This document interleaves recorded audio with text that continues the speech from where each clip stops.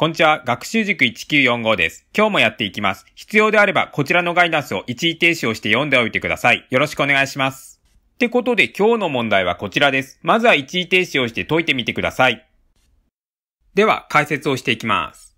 まあ、簡単にまとめるとですね、国から地方自治体、都道府県市町村に向かって仕送りがあるんですよ。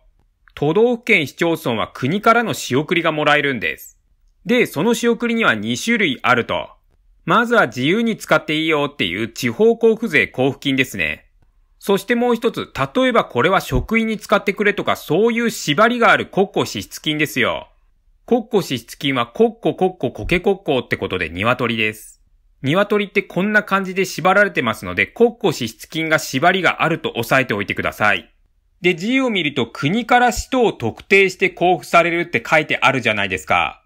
つまりこれは縛りがあるってことですので G に入るのは国庫支出金ですよ。そうなると正解は2番になりますよね。